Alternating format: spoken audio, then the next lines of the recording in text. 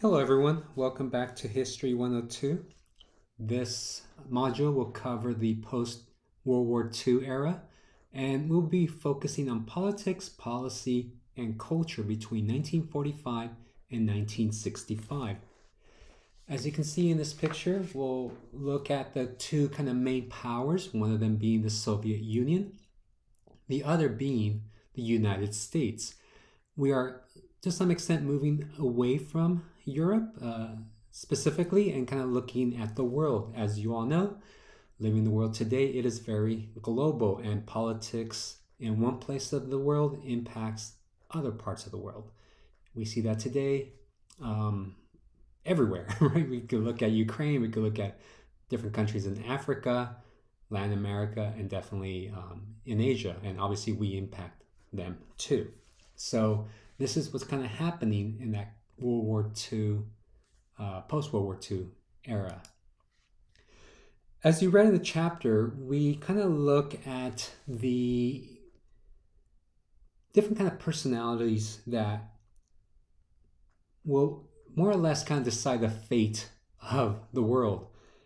With the world uh, World War II ending, we see how these agreements, and, we call them agreements because there's really no official policy that emerges after the the war. Um, these agreements will kind of shape uh, the politics of that period of 45 to the 1960s and, and, and beyond. We will also see how the different personalities will impact these policies too. As you know, we saw with Roosevelt. Roosevelt was to some extent trying to give Stalin the benefit of the doubt. Once he passes away, right during the war, Truman comes in and he has a different mindset in dealing with Stalin. In addition, you have a, uh, another kind of key leader such as Churchill, but you know um, he ends up leaving his post as prime minister, and somebody else comes in, and they'll you know look at the issues in a different lens.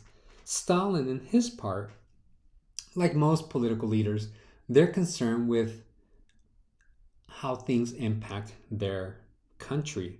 So he was very vocal about what he wanted after the war, partly because the Russians took the predominant role in the East, and he was seeking reparations for all the destruction that the Germans did.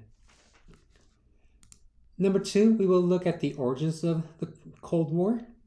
so after World War II, we see the emergence of this unofficial war that lasts into the 1990s. And um, we will see how you know different policies will shape global politics and the way how uh, like the previous objective how personalities kind of shape that and here we're talking about people like richard nixon and and um, JFK, obviously, but really we're going to focus, uh, since we're focusing on Europe more, on, on Khrushchev, since he's the leader of the Soviet Union. Uh, but definitely, he's a very colorful personality. I'll talk about him in a minute. But he will have an impact in the way relations develop between these two major powers, the US and the Soviet Union. And lastly, we will look at the development of technology and material culture so during the war, you, you know, there was a lot of innovation in technology to help the war effort. Uh, things like the atomic bomb, right, and other forms of technology that I'll talk about in a little while emerge that would impact, you know, later decades, particularly when it comes to the space race.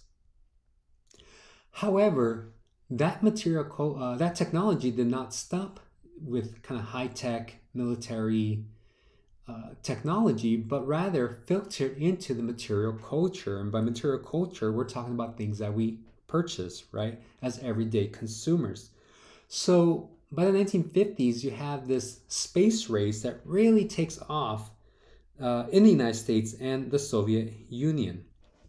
But this space race will also impact the material culture, the products that we purchase, and one of the most notable examples, I'll talk about a few more a little bit later, but one of the most notable examples are cars. So if anybody is into maybe lowriders, right, um, or, or even just car culture, you have probably noticed this with cars such as Cadillacs and maybe a 1959 Chevy Impala. You see that they have these really kind of long bodies and these really kind of slick uh, tail fins, right? They almost look like fish fins or something like that. And you know, from the observer's point of view, you think, "Wow, this must be you know this might this might make the car aerodynamic and not necessarily that wasn't the intent of of these things it's really that um, we are influenced at least these car companies these designers are influenced by rockets by some of that technology that's being developed for the war uh, or for war efforts and it's shaping the material culture where these cars are beautifully designed but definitely borrowing elements from uh, rockets that are being shot into space. So these are the, the three key objectives. Um, much of what I will talk about definitely parallels what you read. And there's certain things that we won't be able to cover, at least in the lecture, but you know, you can read that on your own. But hopefully the lecture gives you uh, idea and, and helps you kind of contextualize what is happening in this post-war period.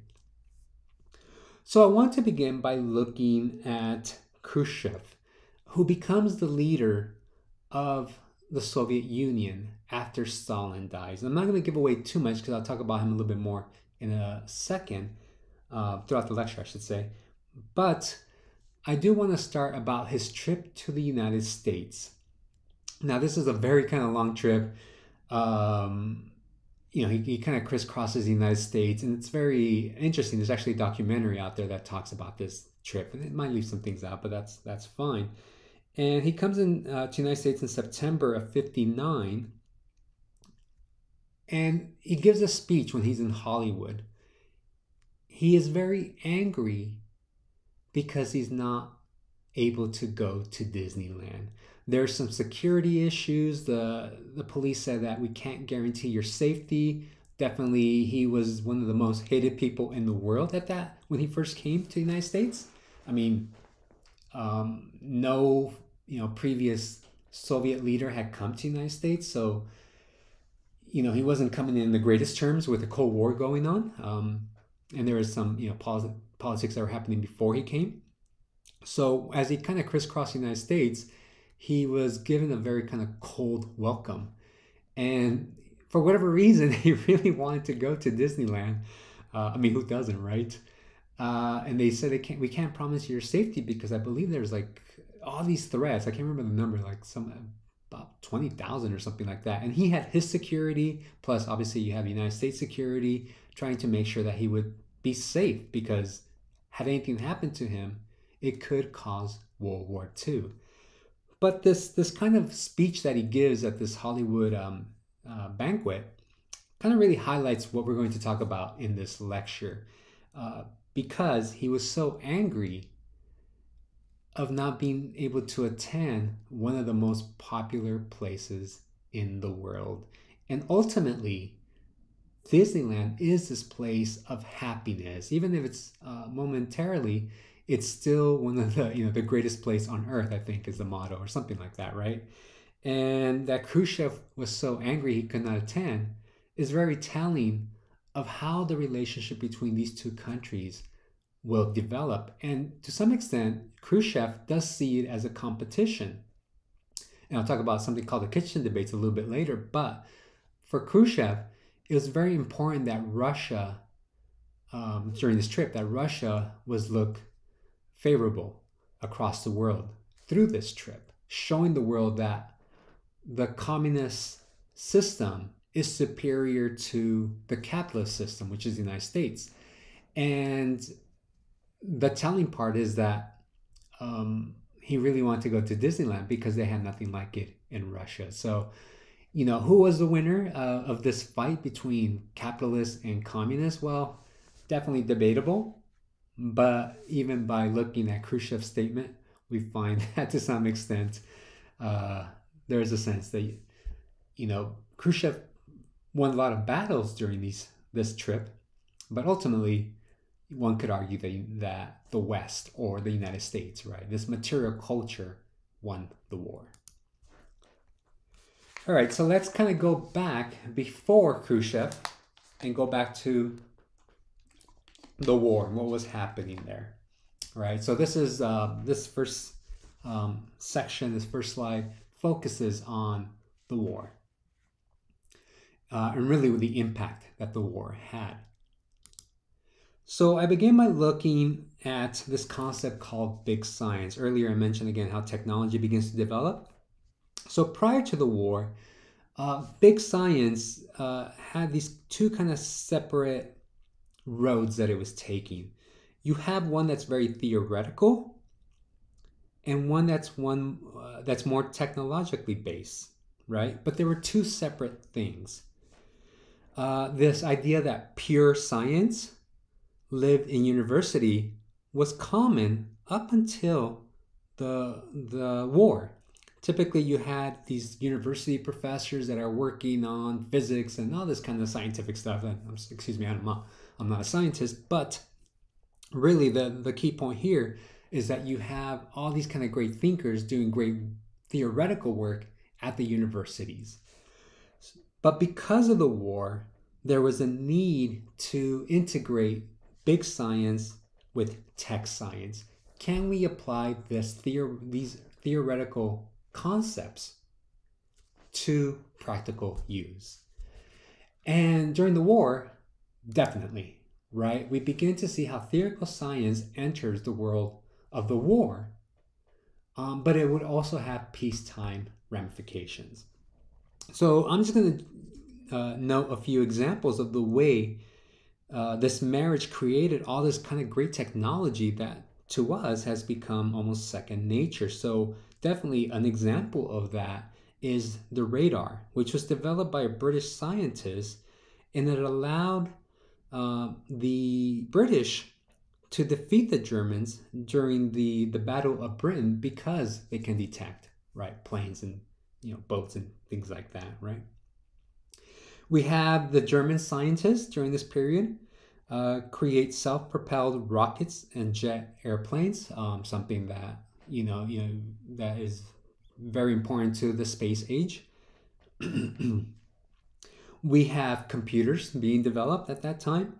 Uh, it is noted that mathematician Alan Turing designed a primitive computer to assist British intelligence in breaking secret codes of German ciphering machines, basically these machines that will communicate information uh, to each other and, and you know uh, the computer helped kind of break those codes access that information and help them win the war and obviously the atomic bomb plays a very important role in that kind of theor- theoretical and tech marriage and another kind of important person that is not mentioned a lot but we probably owe most, more to her than anybody than any of this other technology is this woman right here Hedy Lamarr, right? The famous actress of, of Hollywood.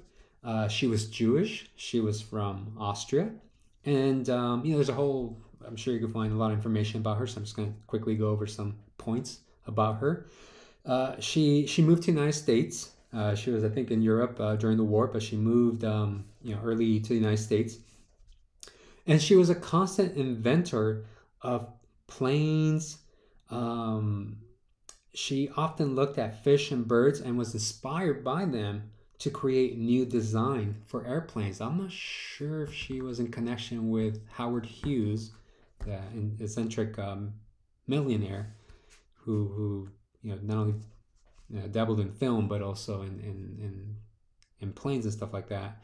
Um, but definitely, she um, very smart woman, and probably her biggest contribution and kind of partnership with um, somebody else was, at least for us, the invention of the invention of Wi-Fi in the 1940s. Now, definitely wasn't called Wi-Fi back then. It was something else. What was happening during this period is that the British um, were being surrounded by German U-boats, and the United States would use torpedoes, but the Germans would often jam the frequency making them utterly useless, right? So her idea was that she would um, allow the torpedo to change frequency frequently so that the torpedo and transmitter can be in sync, and that way the Germans could not jam that that um, what do you call it that um, uh, frequency. Uh, and this uh, was very important um, to future development technology, as I said, Wi-Fi. And uh, she, you know, she did not uh, receive a patent for it. Um, sorry, she did receive a patent for it, but it was not put into use. Um, she's one of these people that doesn't get her due credit until the 1990s. And I still remember being in high school and watching the news, and they had mentioned her. And a lot of times people say, well, you know, she's just a, a beauty queen, you know, a Hollywood um, artist. But uh, we find that no, you know, they played a very important role, at least she did, in developing technology that will shape future generations. So next time you connect to a Wi Fi, think of Hedy Lamarr, right? Uh, another important uh, aspect of big science is that this was very expensive, right? It wasn't, you know, a small mom and pop industry cannot go into this, but it required large scale financing from government and large corporation. This is part of what Eisenhower calls the military industrial complex, right? The government pays a lot of money to these companies to develop a lot of you know important technology that's going to help the military and and that relationship gets a term in the 1950s by Eisenhower. So from 1945 to 1965, government spending on scientific research and development in the US grew five times as fast as the national income. And by 1965, such spending took 3% of all US income, right? So again, the United States, because of the Cold War, is spending a lot of money in developing military technology. It is noted that one fourth of all men and women that trained in the sciences and engineering were employed full time in the production of weapons. And in 1957, uh, and this will have a major impact in the space race, the Soviet Union put a, a satellite dish, a satellite, sorry, into space that would that would cause an all-out space war. Uh, when Khrushchev actually comes to the United States for his visit, he gives Eisenhower a little a little ball. Um, it's a little memento of Sputnik,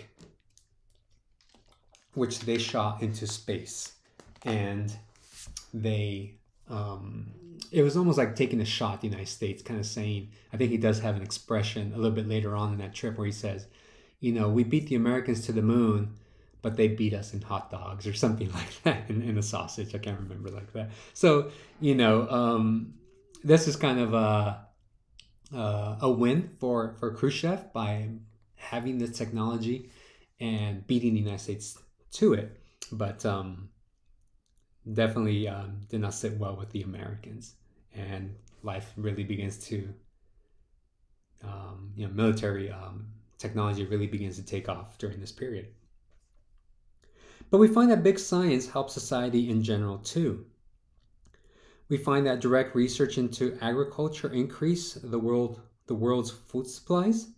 Also, new scientific technology uh, to industri- uh, sorry, new also new scientific technology was shifted to the industrial process, which made consumer goods less expensive and more readily available, causing an increase in consumption, which would define the middle class lifestyle that America lived in in the 1950s.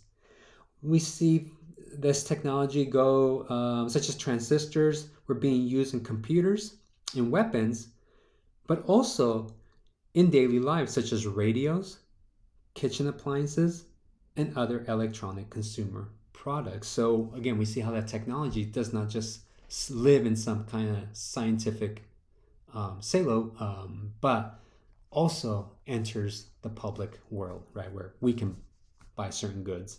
And if you know anything about 1950s consumerism, maybe even today, right? I mean, we're buying goods for the sake of buying goods. So this is one of the major kind of legacies of World War II, right? All this, you know, war creates new technology and, and filters into daily life. Another important aspect of daily life, uh, sorry, daily life, of, of um, legacies of World War II, we, is the displacement of people. We find that Germany was in complete chaos as the war came to a close. Cities laid in complete shambles throughout Europe. It is estimated that 50 million human beings perished in the conflict. And we find that everybody in for the most part in Europe, mainland Europe, was impacted in some shape or form by the war, by particularly by them being displaced and, be, and becoming refugees, uh, having to travel in order to find a place to call home. They travel long distances, often facing assaults, robberies, and ethnic violence. We find that the, the Russians, the Soviet Union, lobbied for the return of many of their captured military Soviet prisoners. Later, it was found out that some of them were killed because the Soviet leaders felt that they had been corrupted by Western ideas. Another important group of people were Jewish people. Obviously, you know, they, they were in the concentration camps. And, you know, after the war, many of them didn't have anywhere to go. We find that, uh, you know, this anti Semitism definitely lingered after the war. Many of their homes were confiscated. They obviously lacked the resources.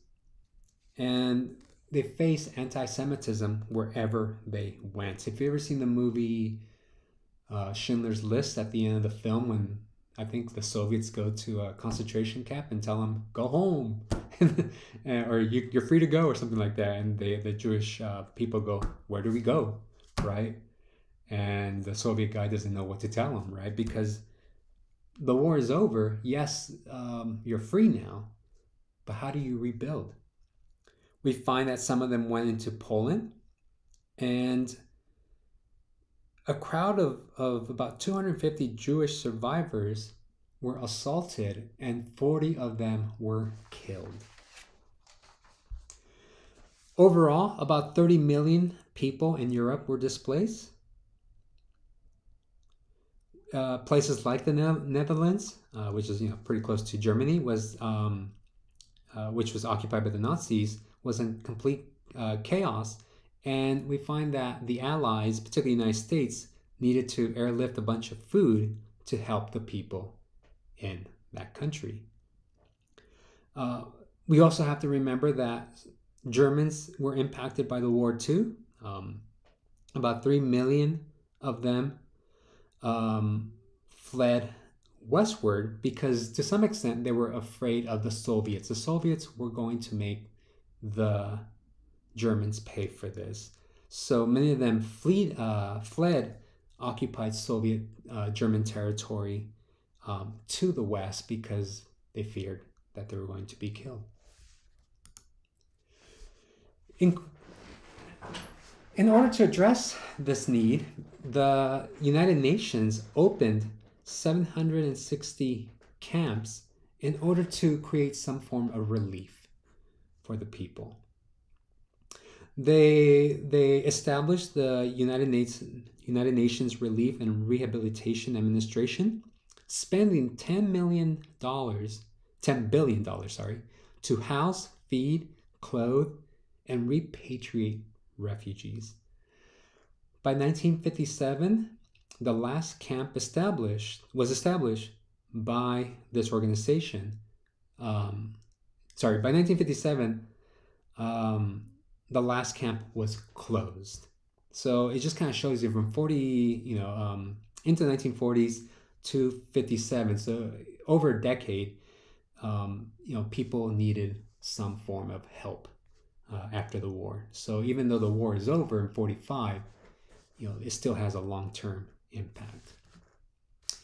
And then another significant um, thing that happens is that, oh, sorry for that year mistake. It's supposed to say post 1948.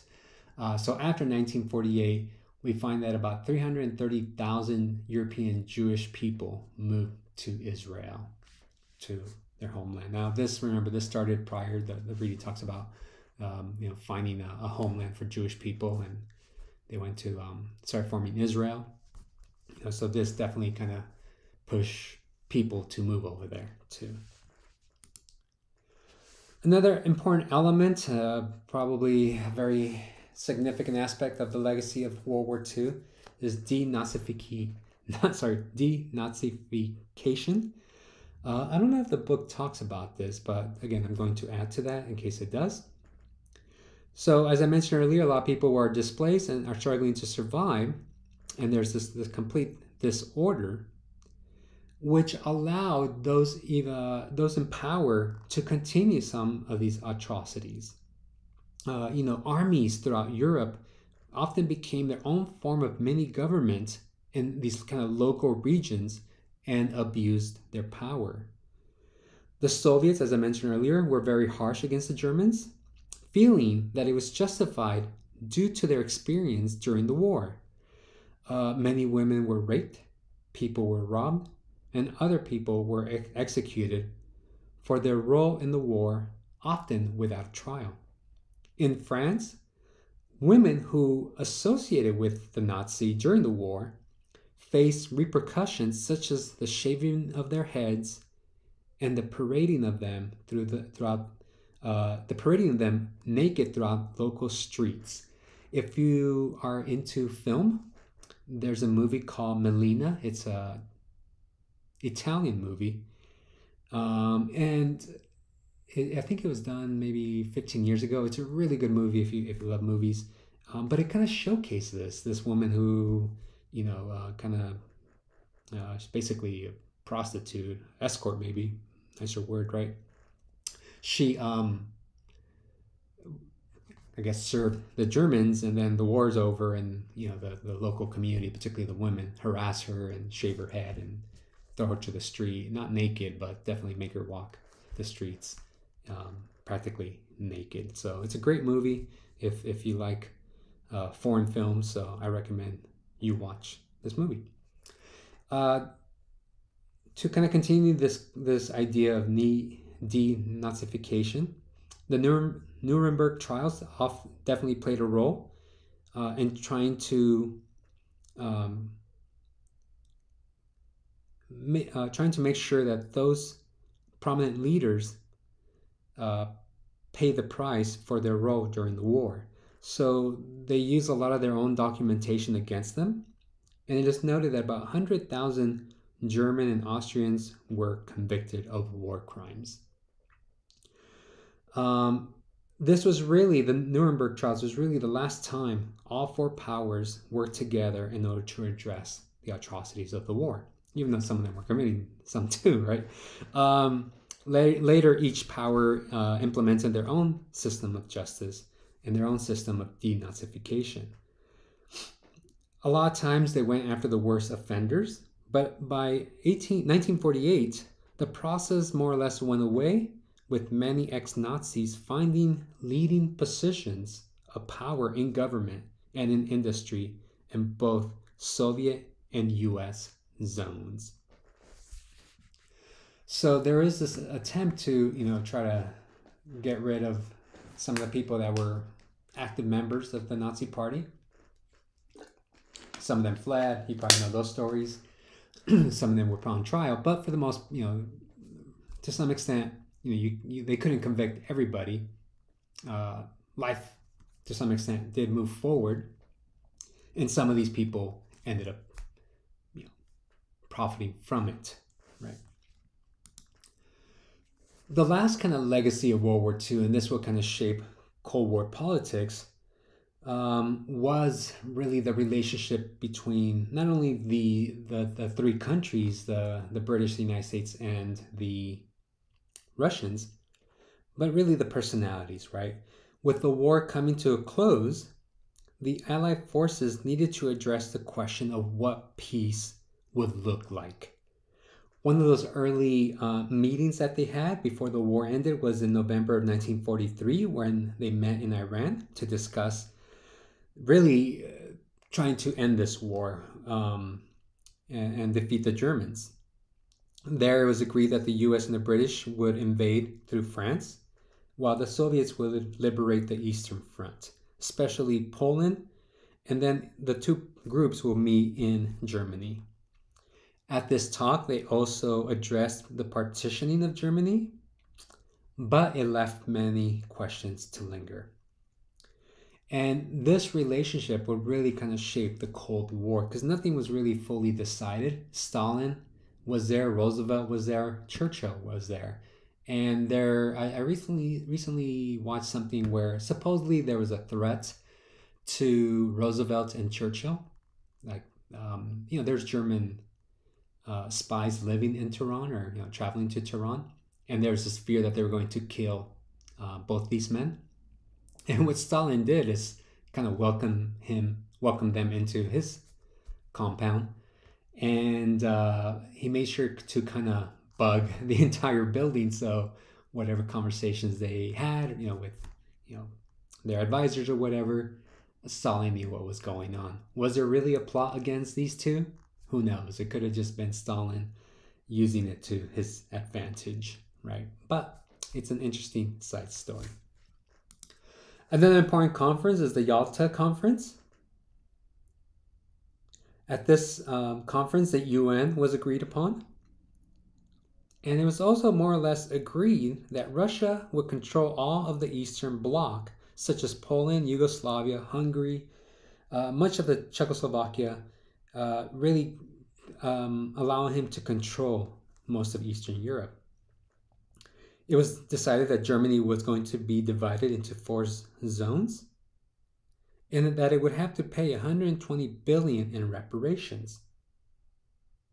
In return, Russia would also help the US against Japan. One of the last kind of important legacies of the Yalta Conference was this idea called self determination, where every country would have the right to develop their own form of government.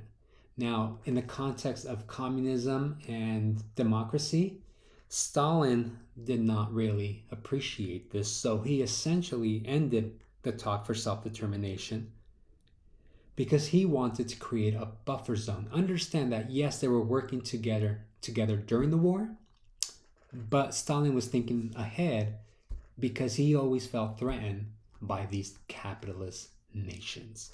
So he wanted to make sure that he protected his interests.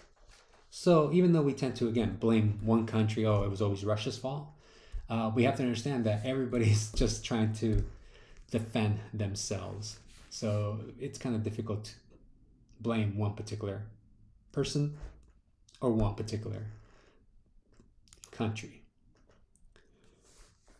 So after the war, you have this uh, conflict between the two major powers. So let me begin by addressing, again, this is all after the war, the US perspective. So once Roosevelt passed away, Truman de- demanded free elections in Europe, um, throughout Europe. But Stalin, as I said earlier at the Yalta conference, Stalin had already said no, and that pretty much ended that. And in particular, because Russia controlled most of that Eastern Bloc, right? Because they were kind of moving from, from you know, uh, east to west against you know Germany, you know they had troops all over this general area, so they controlled it. There were um, uh, attempts to try to break this block, but it wasn't very successful. And I won't go into these concepts too um, in too much great detail because it's in your book, so you you probably read it. But you do have things like the Truman Doctrine, which um, was kind of put into place during the, the Greece Civil War to see how things would kind of work out. It was almost like a testing ground where the British and the Americans were helping the pro democracy uh, bloc in Greece. Um, eventually, the United States basically takes over, you know, by helping them. um, and definitely you have a communist you know conflict there. And the Truman Doctrine was kind of really pushing this idea that the United States will provide economic um, aid to countries that uh, claim that they were being threatened by communist expansion. Part of the goal was so you know since the war since the most of Europe was in shambles, this would help alleviate and hopefully support uh, and grow the relationship between Europe and the United States. So the US provided about $400 million in economic and military aid for Greece and Turkey, right, to kind of gain their support, hoping that the pro democracy group would win and then they would develop that relationship with the United States. Another important uh, plan, and again, this is in your book, is the Marshall Plan. The US implemented the European Recovery Program called the ERP, which included Eastern Europe. So the United States was going to also give money, and I don't want to say give, but definitely, you know, um, provide aid for some of those Eastern Bloc countries, such as, you know, all these over here Romania, Bulgaria, blah, blah, blah, right? Yugoslavia. Um, but Stalin put a stop to that.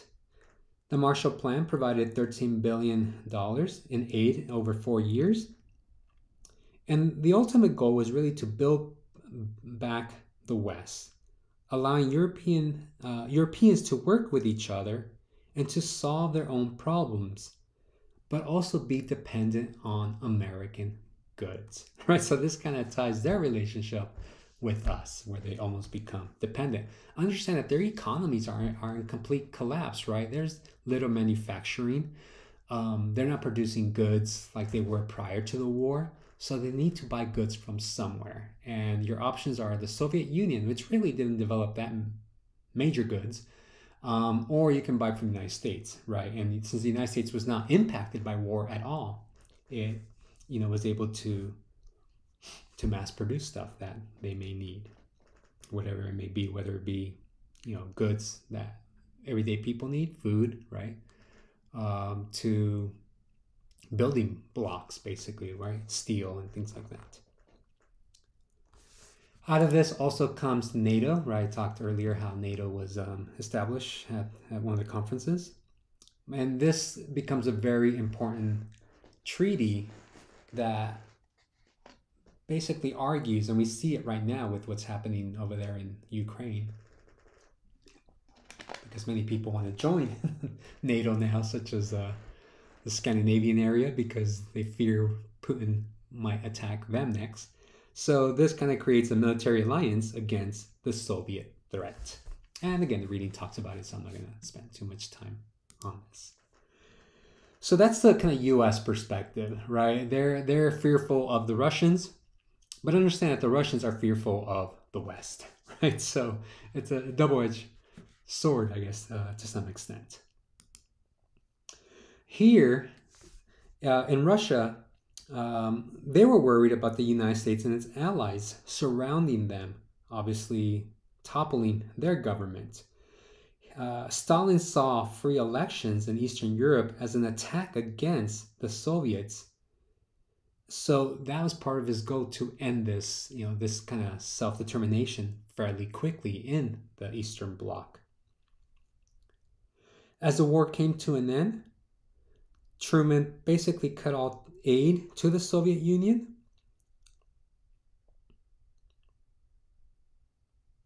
So um, Stalin basically saw the Marshall Plan as a way for the United States to control you know, European economies and their political independence. So, uh, I, I, mean, to some extent, I don't want to say he's absolutely correct, but there is some truth to what you know what he was seeing. Because yes, we're giving you money, but that money's going to come right back to us, so we can you know they can buy their goods that they need. So it's just kind of funny, right? How that how that money kind of circulated. You know, same thing was done during World War II with that Lend Lease Act. So uh, you know, Stalin wasn't uh, incorrect by any means. So instead, Stalin proposes almost the same idea the Council for the Mutual Economic Assistance, uh, I want to say Comic Con, but sounds kind of wrong, right? But it's there, right? Uh, and in this particular program, communist regime, regimes were established throughout the Eastern Bloc um, with the help of the, the Soviet military.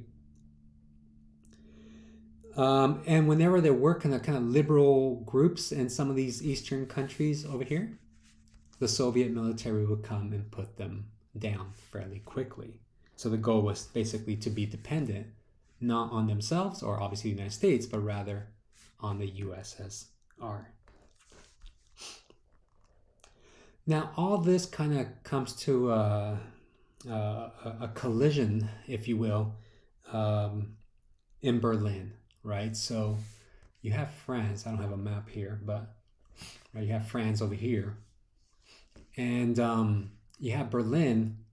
Um, so France is actually partitioned out by by um, the four countries, but quite quickly the three of them kind of joined forces together, right? The French, the British, and the Americans, and you um, have a country that's basically divided into um, two halves well, you also have a city that actually sits in the Soviet side that's divided in half. So again, this kind of um, this conflict at Berlin reflects the Cold War politics, right? Uh, this is where you have the Berlin airlifts, where um, you know both kind of dominant forces are fighting for control over this city. It's a very important city. Um, the Soviets feel like it's rightfully theirs because, as I mentioned earlier, they pay the price fighting the Germans, so they feel that they are owed um, all this. And they, you know, when the Soviets are in Germany, they take advantage of their opportunity there. They end up dismantling um, um, and they move 380 factories from the western zone of Berlin into Russia. Right. Part of it is that the Soviets want to borrow some of this technology so they can stimulate their economy. By 1946, 200 chemical and paper, um, chemical, paper, and textile factories in the Soviet East German zone have been shipped to the Soviet Union. So it almost feels like the Soviets are just ransacking all of, you know, Germany. By 1948, the Allies, the US and the French and the British, um, as I mentioned earlier, unified their zones, creating a West Germany and replacing the currency which infuriated Stalin, who saw it as a violation of peace, of the peace accords. He therefore sought to take Berlin by implementing a blockade. Remember, Berlin is over here in the German side. So, what happens? And again, the book talks about this, but basically, the Western allies begin to fly over Berlin and begin to drop all these resources to the British, uh, sorry, to the German um, West Berliners over here. Here you see a picture of the kids. Um, I think uh, one, it was noted that one plane was dropping chocolates for these kids, right? So this blockade lasted almost a year, right? And the United States, along with its allies, was shipping uh, by airplane goods to Berlin.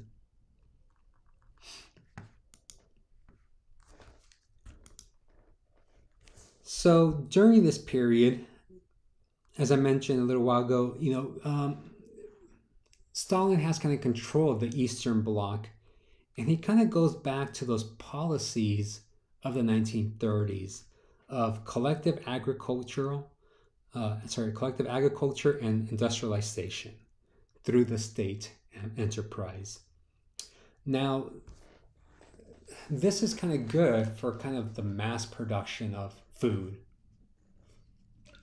the development of steel, right? Um, even though their technology is a little bit dated, the goal, right, like we saw in the 1930s, was to to um, be kind of like a dominant power in these resources that the world needs to rebuild. So that that Comecon, uh, I'm not sure if it's Comic Con or Comecon, was supposed to um, was established to to help that Eastern Bloc. However, ultimately, it was really to the benefit of the Soviets. Uh, ba- you know, basically, e- Eastern European countries had to buy goods from the Soviets, and the Soviets would buy you know raw material from these Eastern European countries, right? And you know most of the goods that the Eastern Europeans bought from Russia tend to be at really inflated prices. However, you know there were some benefits in Poland. We find steel companies opening. Again, this kind of heavy industry. And for the Soviet, um, uh, I guess what we call the Iron Curtain, right? For that area, um, you know, communist countries, we find that this they see it as almost a war against um, capitalism, where even Stalin noted the war on fascism has ended, the war on capitalism begins. So the Eastern Bloc states basically nationalized their industries and businesses a lot like the Soviets did. The focus was on heavy industry and the military. It was also uh, in mining and in agriculture. And even though they, you know, they only had about 30% of trade with the Eastern, uh, sorry, with the West, these economies really never developed um, like the West. Um, they were planned economies, but their consumer products lagged. Uh, we find that a lot of you know there's there tend to be a lot of production problems and a lot of shortage of basic goods. Remember these countries had just gone through a war so they don't have a lot of resources so they want things that that they can use for their daily life. Uh, people became unhappy. They became disillusioned with socialism. Workers face poor working conditions and very low pay uh, we find that basically this kind of workers' revolt or workers' movement just never really came into fruition, whether in the Eastern Bloc or in Russia. And we find that in June of 1953, East Germany construction workers went on strike. And again, it kind of shows the failures of this kind of system because the Soviets had to come in and put these, you know, put this uprising down. So what we find, what was happening in this this kind of Eastern Bloc, was basically mimicking the economy of Russia in the 1930s. By March 5th, 1953, Stalin ends up passing away. And there is a bit of a major shift happening here. So, with the passing of Stalin, and you can remember it from the if you've seen the movie The Inner Circle, right, when everybody's distraught that Stalin died, right, in, in that last scene, um, a new person comes into power, whereas Stalin was very distrustful of the West. Uh, Khrushchev was just as distrustful, but he was open to um, communication with the West, and this kind of changes the Cold War. Um, can't say it made it any better, but definitely made it seem like there was hope there. Uh, partly because some of the things that Khrushchev did. And one of this is this process called de-Stalinization.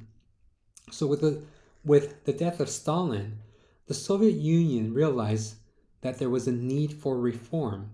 Political prisoners rebelled forcing the release of more than 1 million people from the Gulag. The power of the secret police was curbed, and even Soviet officials who tended to enjoy the luxury of being in close connection with Stalin, and you know they tend to have plenty of luxury goods and plenty of food, had become to distrust the system called Stalinism. When Khrushchev came to power, it I don't want to say it transformed the Soviet, but definitely gave us a, a lens into what was happening there.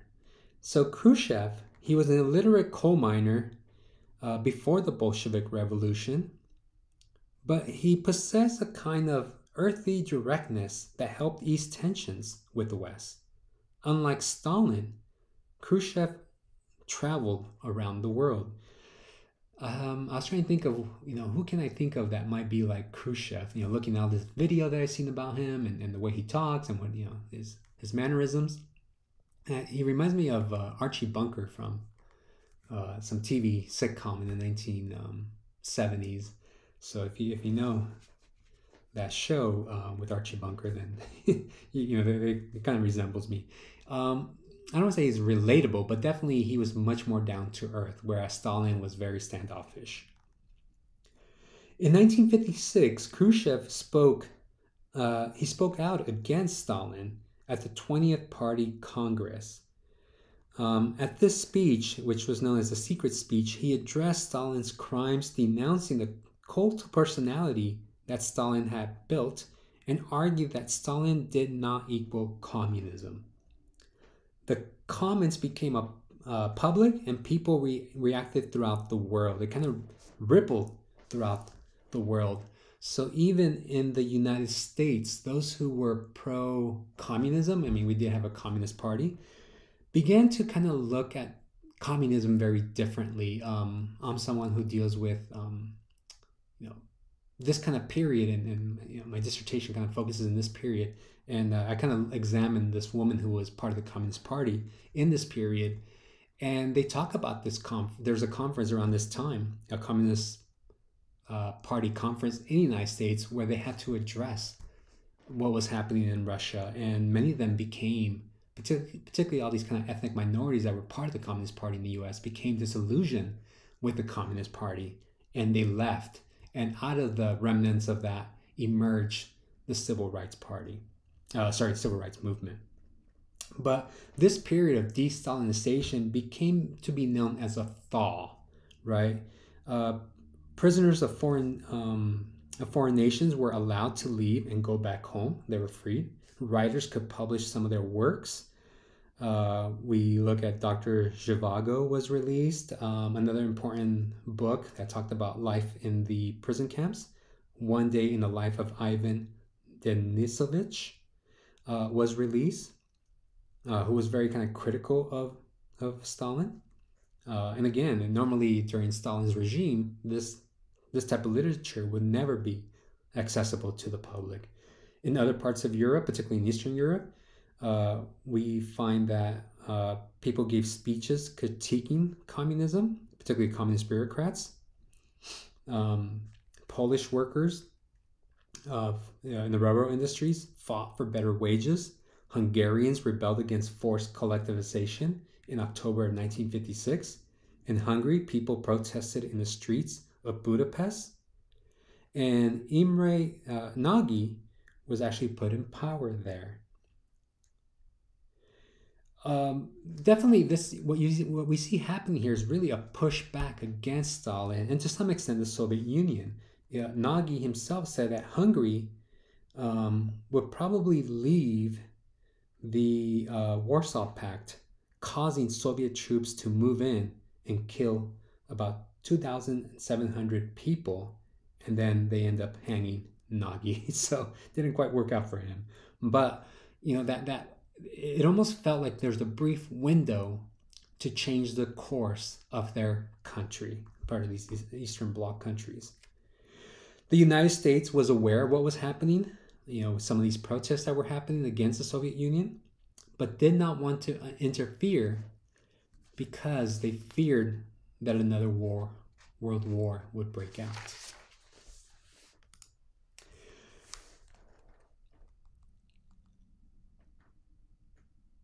So, with the war over and obviously Stalin gone, Russians and Eastern Europeans sought some sort of the same goods that the West had had. And Khrushchev was seeking to deliver. Um, as I mentioned earlier, they have that kind of collectivization and industrialization type of economy, so they don't really have the goods that some of the Western countries have. So Khrushchev was trying to hurry up this process. He pushed for a shift from production of heavy machinery and uh, armaments to the manufacturing of consumer goods and agriculture. we find that Stalin's control over workers were relaxed and the standard of living for Soviets increased mod- modestly, modestly sorry, uh, throughout the 1960s. Khrushchev boasted that the living standards had increased, and we see that Eastern Europeans were purchasing some of the same goods that Westerners were buying, such as automobiles, televisions, and other consumer goods. Khrushchev was trying to create a relationship with the West of coexistence um, instead of just having this kind of nuclear threat. In 1955, he agreed for Austria Austrian neutrality after 10 years of Allied occupation. sorry, occupation. And between 1955 to 1957, Cold War tensions have relaxed as the USSR sought influence over, um, over uh, colonial countries. And this is what the book talks about when it talks about decolonization. That, yes, it had that, you know, the Soviets had that Eastern Bloc, but now many of these former colonies of the West, of the British, of the French, of the Germans, were now seeking their own independence. And Russia was hoping to benefit from that by having them uh, implement kind of communist governments. So, as the Russians kind of sought to have a tight grip on Eastern Europe, for the most part, the US and its allies oblige, allowing this to happen for fear of another war. Another kind of important element that happened during this period of Khrushchev's um, tenure was the Berlin Wall. this would become important in 19 in the 19 I want to say late 80s. Oh, I got to go back and look uh, with the fall of the Berlin Wall, right? Uh, I was alive during that time. I don't know why I can't remember. I remember late 80s, early 90s. Uh, by the early 1950s, uh, Eastern Germany had basically become part of that Eastern Bloc industry was nationalized and agricultural uh, agriculture collectivized. After Soviet tanks crushed a workers' revolt in 1953, we saw a steady flow of mostly skilled workers leave Eastern Germany, particularly in the city of Berlin. Right, many of the people in Germany were tired of what was happening. Again, very repressive form of government that was controlled by the Soviets. So this exodus of people leaving Eastern Germany into kind of Western territory, whether it be West Germany or West Berlin, caused economic issues for the East to the point that Khrushchev ordered the Western allies to evacuate Berlin within six months. Obviously, the Western the Allies said no, and he backed off. However, by 1961, Khrushchev ordered the East Germans to build a wall between the East and West Berlin, along with barriers, uh, the uh, with barriers throughout the border of with uh, Western Germany. So there was this period in the Soviet Union where, again, there was this hope of relations being lax somewhat but there's a lot of things happening during throughout this era that caused things to not work out. Um, another example, I think in 1960, I want to say 1961, the Russians shot down a a U.S. spy plane, and, and this is what kind of caused that Cuban crisis uh, because the Soviets felt that there was a distrust. So now let's look at the West. What's happening in the West, kind of collectively, right? and again kind of follows what the book is highlighting. For the West, it's really a, a rebirth, right? And it's almost a miracle of a rebirth how quickly the Western countries um, in Europe were able to um, kind of reestablish themselves. Obviously, the Marshall Plan brought in much needed money for food and consumer goods, such as cars washing machines, vacuum cleaners, television, these kind of I mean, these are items that we consider kind of standard today, but definitely impact the social consciousness of making life better, right? When we think of the American dream, we think of these very things, right? A car, a television, a, um, a house, obviously. So between 1950 and 1973, Western European, uh, Western Europe, sorry, saw an annual per capita growth rate of 3.8%. Um, just to give you an example, to contrast that, between 1870 and 1913, it was only at 1.3%. We find that most Western and Scandinavian countries achieved notable recovery, particularly with the creation of a common market, which became the European Union. By creating these economic connections, part of the hope was that it would keep countries from going to war. It reduced tariffs amongst partners, developed common um, column trading policies, and brought under one cooperative economic umbrella more than 200 million consumers. The common market transcended the borders of the nation states, allowing for economic growth rather than on a personal interest or the needs of a specific nation. So by creating this kind of union, you know, what does this mean? So France, um, Italy, Spain, uh, the Scandinavian, the British, just didn't become one country, but they definitely learned to work together because they all had different resources that each of them needed. In the hope that by doing this, by connecting their economies, this will stop them from going to war because they needed each other, right? It's almost as simple as that. In regards to cinema and television, right, it's really about the American culture spreading to other parts of the world. Uh, part of it was just because, again, the United States was not impacted by the war directly in the sense of you know being attacked and destroyed. we find that these industries were struggling over there in Europe. So American cinema dominated popular culture in Europe. And essentially what America cinema did, it was that it created an American dream, right? When we talk about the American dream, we typically think about the American dream only here in the United States. What we're seeing that through mass media, we're creating an American dream for other parts of the world. For this example, for the Europeans. Movies such as Rebel Without a Cause constructed the beginning of a post war youth culture where the ideals was to rebel. And you kind of, I'll talk about these people in a little while, but you see how popular culture shapes people's lives. By the 1960s, 40% of Hollywood's revenue came from the European market.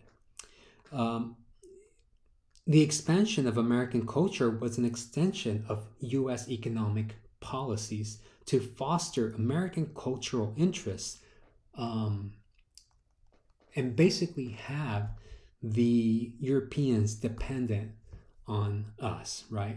They're seeing all these products on television, they're how we dress, how we look, how we talk, and they are consuming that, and that creates a market.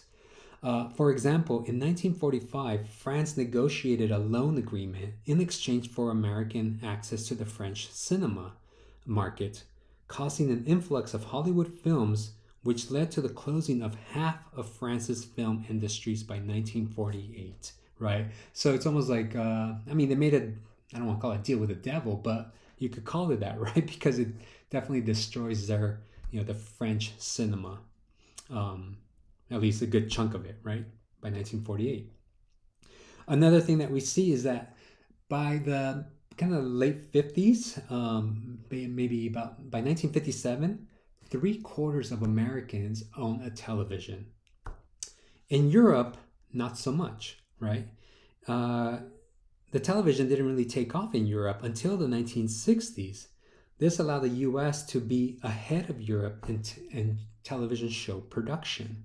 For example, the BBC could buy American programs for one tenth of what it costs for producing its own shows.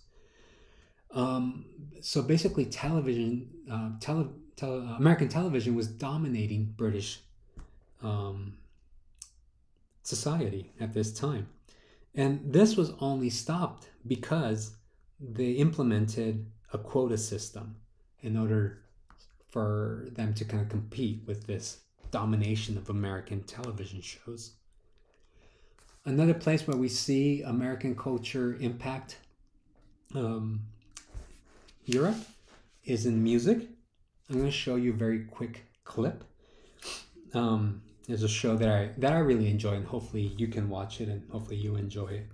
But we see that radio was really the most influential form of media, uh, carrying much of the post-war consumer advertising and making connections between the Cold War and consumerism.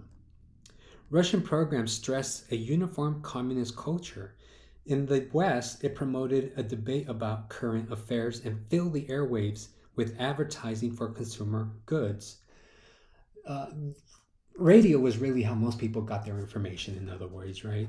Uh, radio is something that was relatively cheap and most people can afford in Europe. Um, but we also see how American programming influenced Western Europe and really Eastern Europe too, because they had a taste of these this um, info and they wanted it, right? One of the best examples is rock and roll music, right? It dominated the airwaves both in the U.S. and in Europe. Artists such as Chuck Berry, Little Richard, and Elvis Presley uh, presented an image of a new generation that wanted to have fun in the post-war era. A young generation emerged the quote unquote teenagers, which really develops somewhere in the 40s and really comes into fruition by the 1950s, which had money to spend on consumer goods. So they were able to buy a cheap personal music player, um, and which allowed a, mar- a mass market of, of albums that was accessible to a wider audience. And I want to quickly show you a clip here. Hopefully, it doesn't mess this up. But uh, there's a show called My Brilliant Friend, and that, to some extent, addresses the first two seasons. Addresses everything that I'm talking about here. So let's let's hope it works.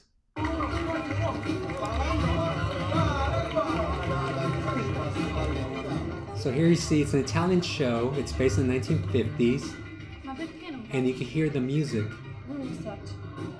which is rock and roll.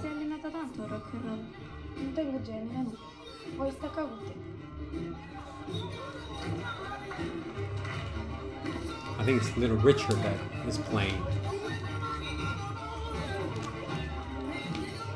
The dances are modern.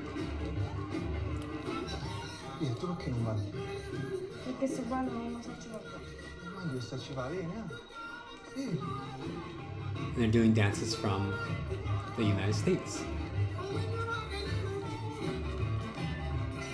Looks like the twist, right?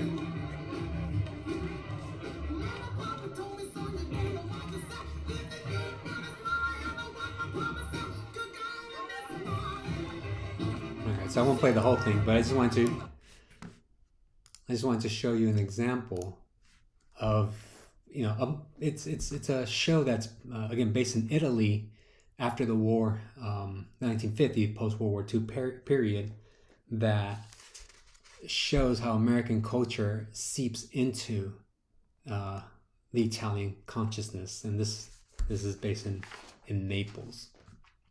And we see this kind of teenage rebellion kind of emerging, right, with the dancing, with the music, uh, but also with the culture. You have a group called the Teddy Boys, um, and it's not just happening in Brit- Britain, which is where the Teddy Boys are, are located.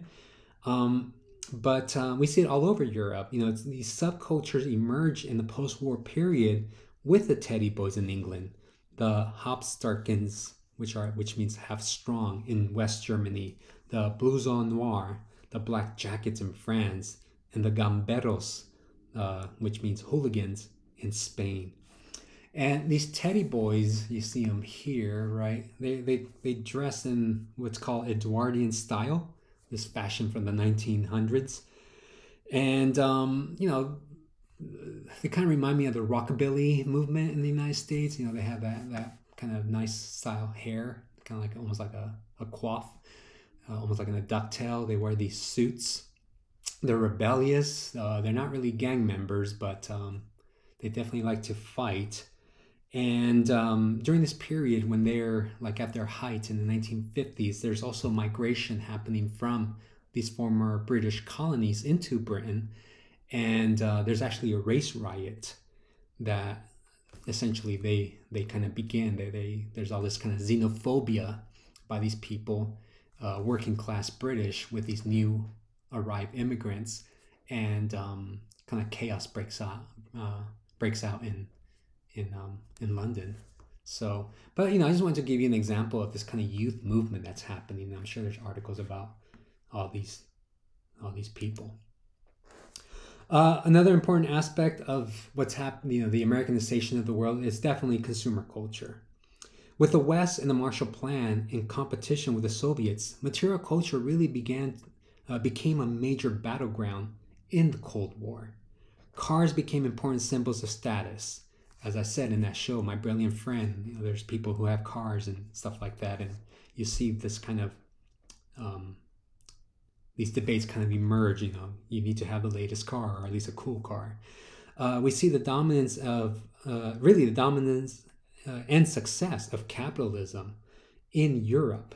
Right, like I said earlier, it's almost nothing short of a miracle of how how much Western Europe recovered, and to some extent, how quickly. Uh, in 1948, only about 5 million Western Europeans had cars. By 1965, 40 million owned one. In 1950, Italian workers rode their bike to work. Later, within a few years, most companies had parking lots to accommodate for this new common item, right? So they can park their cars when they go to work we find that Europeans are purchasing large durable goods um, that basically change the mindset of European consumerism. In the 19th century, most Europeans, uh, particularly middle class Europeans, focus on not going into debt, right? You only buy what you can afford, you know, the money that you have in hand. By the ninth, by the 20th century, though, particularly during this period, we see banks and retailers persuading middle class and working class people to not be ashamed of debt. Words such as abundance, credit, consumer spending, and standard of living became part of the vernacular, focusing on citizenship, on their needs, desires, and their entitlements, where it becomes natural to go into debt in order to live like the Joneses, right? Live, you know, if your neighbors have a new television, you need to get a new television, right? They have a black and white, you get the latest one. You get one in color, right? And again, my brilliant friend, that it kind of showcases all these things that I'm talking about here. Another important thing that we see is the development of the welfare state. Uh, now, the welfare state was really this idea that people should be able to pursue happiness. Whatever that concept of happiness means, is that government played a role in helping you pursue it. The goal was to make it possible for people to live a better life and really a more meaningful life. Remember, these were kids and you know adults that were coming out of this major conflict right this major war and to some extent they wanted peace but also maybe some of the luxuries that americans had. The concept of the welfare state was nothing new. We saw it when we talked about bismarck who had instituted many of these ideas or some of these ideas in the 19th century but the idea was to put democracy on a stronger footing, making it seem like democracy is a better system than communism. It was Clement Attlee, a socialist and the leader of the British Labour Party, who coined the term the welfare state. And by welfare, we don't we're not talking about somebody collecting a paycheck, all right? you know, sitting at home collecting a paycheck. It's a little bit more complicated than that. All right, so maybe get that out of your mind. But rather, it was Britain, uh, uh, particularly, it started really in, in Britain, that provided certain legislation to provide certain things to people that sometimes they might not be able to have a lot of control. Um, so things like healthcare, right? They provided free medical care through the National Health, Health Service Program. Um, this is something that Germany has. You know, we, we talk about great healthcare systems. We tend to look at places like Britain and, and Germany, right? You have a baby in the United States, it's going to cost you 20 grand, if not more. Over there, it's free, right? Uh, you have an operation, right? I'm not sure if anybody ever had an appendicitis. That's not something you control. That's something that just happens. And if you don't have health insurance, it's gonna hurt. it's gonna hurt two in two ways. Number one, them taking it out, and number two, having to pay that bill. Uh, I should know I had health care, thank God, when I had my appendix out. Another uh, program that was that was established was the assistance to families. Now this one's very genderized. The state provided a family an allowance which created a minimum level of material care for children. Much of this was put on women to stay home and take care of the family so they would receive subsidies for children. Thus, the British welfare system encouraged wives to be dependent on their husbands. The United States system, when it was established and you know, the welfare system was established in the 1930s, basically does the same thing. It kind of I mean, it doesn't force women to stay home, but it kind of promotes that idea. Uh, and it also promotes the idea of the nuclear family, right? The assumption that people are part of this kind of nuclear family. Uh, another program that was uh, developed was a guaranteed secondary education. Again, watch my brilliant friend. Much of this is in there. The goal was to remove barriers to opportunity by expanding the number of universities and providing scholarships to allow everyone to attend a, an institution of higher learning. Overall, European states move towards free or only a modest tuition, right? So people can move up, right? If you're coming from the working class, you can you can go to college and you know become whatever whatever interests you, right? Become a professional. It didn't always work.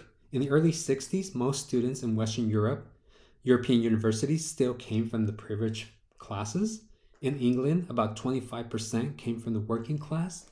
And in France, it was only about 17.6% came from the working class. So great ideals, but didn't always necessarily work. All right. What we do see happening here, though, right, and I'm trying to stress this, is this idea that the West, to some extent, is winning the material war, right, of this Cold War, right? Um, I'm kind of more or less going to end it with the kitchen debates, right? so, who who was ahead in this Cold War between the Soviets and the United States in the 1960s? You know, as we mentioned at the start of the lecture, Khrushchev was unhappy that he wasn't able to go to Disneyland, the happiest place on earth. Again, this is very telling. The Cold War was a battle to which was the better system? Was communism or capitalism better?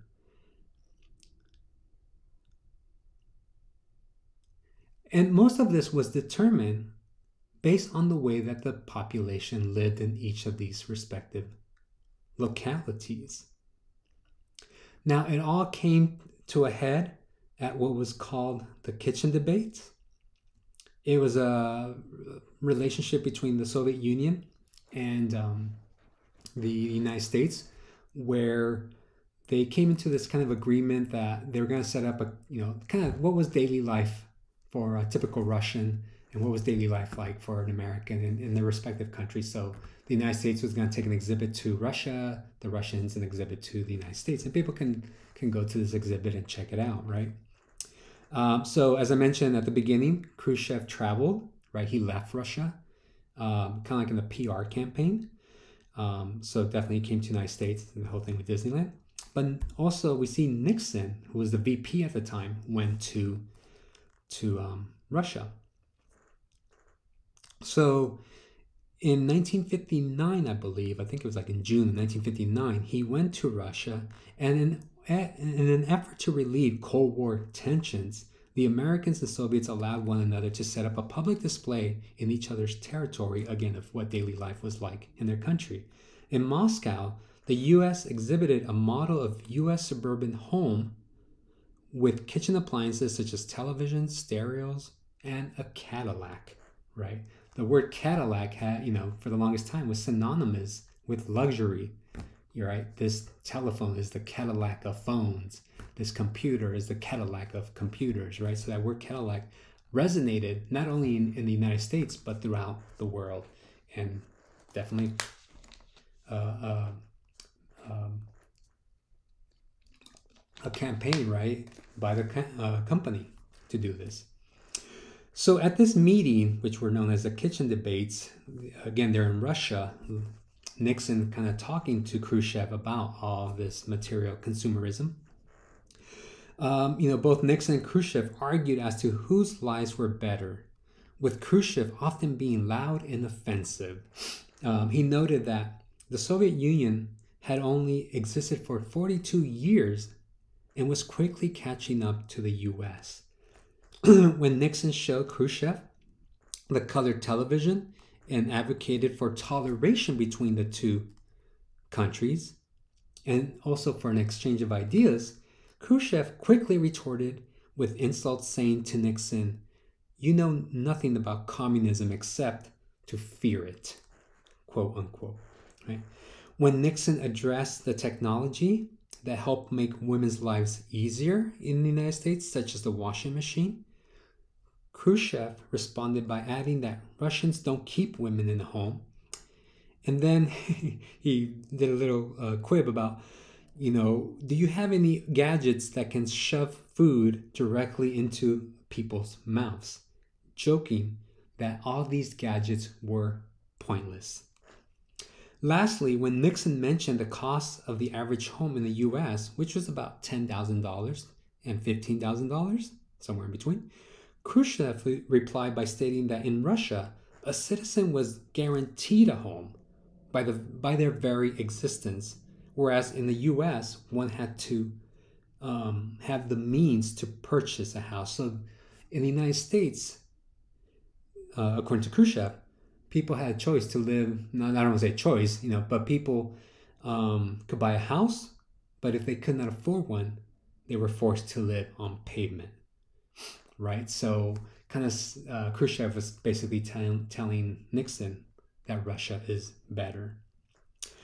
Though the debates did not solve the war, it did allow a form of openness that did not exist before between the two nations. It also showcased to Russians the standard of living in the US, even if it was only for white middle class Americans, which was way ahead of the Soviets. So when Khrushchev went to Disneyland, as much as he complained about US materialism, in the end, he wanted what the Soviets did not have, which was that pursuit of happiness. All right.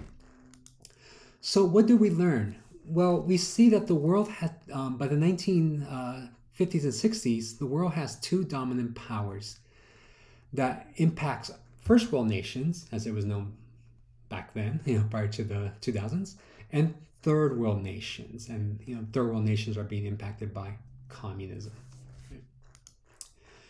We also see a time period where there's this it's a war, right? We have a Cold War, but it's a Cold War of detente, right? There's there's no actual war, war, right? It's it's it's also not peaceful, but um, it's essentially a stalemate, is what we're seeing with the Cold War between, you know, the end of the war to about the 1960s, and again, it went almost came to war in uh, during the Cuban Missile Crisis. And then lastly, I try to show you how, you know, all these things, everything from policies to big science to, you know, Marshall Plan, really help develop um, a culture that was based on materialism. And this basically set the tone from um, the 1950s to up to the 1990s, where even Russians, I don't want to say they were jealous, but they definitely recognized that they did not have the same uh, access to these goods as the rest of Europe. And uh, you know you'll read about it, but I remember in the late '80s to the '90s when McDonald's opened the the first McDonald's in Russia, and people were just waiting in these long lines for a Big Mac. And for us, that was hilarious because you know there's a McDonald's in every corner. And then you see particularly a youthful generation where whether it's in the 1950s or in the 1980s to the 1990s, that will shape Cold War politics because a lot of them liked Western culture. They wanted Western music. Um, I was watching some show where it was talking about, you know, did the Scorpions, um, their song called "The Sounds of Change," I think, did that bring down the um, the Iron Curtain? And there's actually some truth to that. so, um, and a lot of it's because these your um, communist, you know, kids wanted American music, American um, heavy metal at that time. Um, and we saw it in the 80s and we see it here in, in this lecture in the 1950s uh, and 60s. So like I said, if if you like television, there's a great show on HBO called My Brilliant Friend. And you see elements of this in that show. And it, it's, it's a really fascinating show. It's a really great show. Um, and it kind of covers much of this period that we're covering, um, you know, these next two chapters that we're covering. So, in case you're interested, um, I would recommend you check it out. It is subtitled because it's in Italian, and um, I heard that even if you speak Italian, because they're being speaking in a Naples accent, it's really hard to understand. So, you might need a, you probably will need the subtitles. It's an excellent show, though. All right, so we'll end it there, and um, hope you feel like you learned something.